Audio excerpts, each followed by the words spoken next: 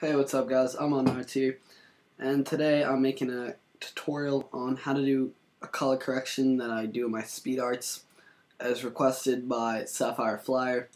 And it's pretty simple. All I really do, I edit the curves and I add two gradient maps. So right here I have an image of Skrillex, which I'm going to be using for the tutorial. So let's get started. What we're going to start off by doing, we're going to go to Layer, New Adjustment Layer, and we're going to do the curves. So click OK, and it starts off on RGB. You want to change that to red. That's the color we're going to be starting with. So it depends on what how your image is, and I don't do the same curves for every image, but it looks like this image has a little bit too much reds. So I'm going to take the reds bar and I'm going to turn it down a little bit. And you can see if you drag it up a lot, obviously it increases the reds. If you drag it way down, it decreases the reds and makes it really blue. But I just want to decrease the reds kind of subtly. So I'm just going to put it at something like, you know, this. Now, if we go on to the green, you can see if you increase it, it increases the greens, and if you decrease it, it decreases the greens. Pretty obvious. What I want to do, I want to decrease the greens a little bit. And finally, if we go on to the blues, you know, I'm gonna de I'm gonna decrease this point on the blues, which kind of decreases the mid levels of the blues, so that way it makes it a little bit more yellow in those areas.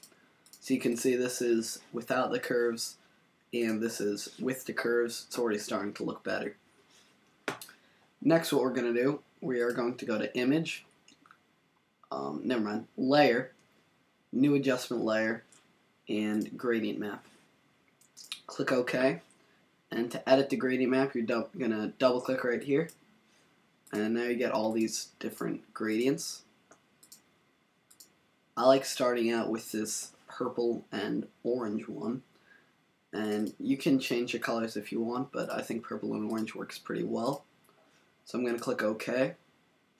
And you can see this just looks stupid. Way too much purples and way too much orange what we want to do, we want to change to blending mode right here where it says normal.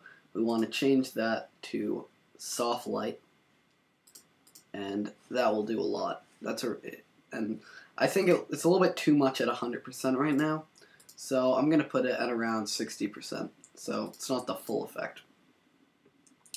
But anyway, that's looking pretty nice. We're almost done with the color correction. Last thing we're going to do, we're going to go to Layer, new adjustment layer, and we're going to add a third uh, or a second gradient map.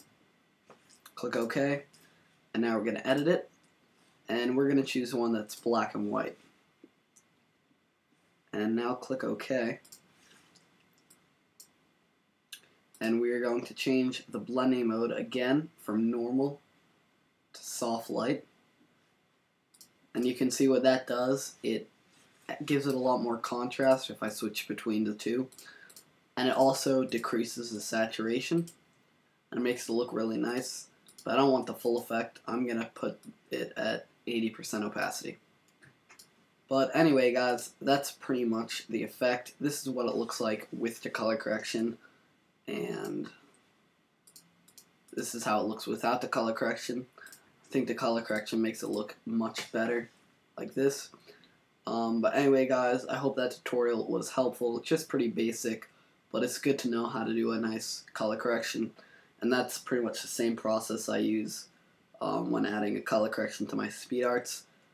Please like the video, and as always, comment suggesting more tutorial ideas. Thanks for watching, guys.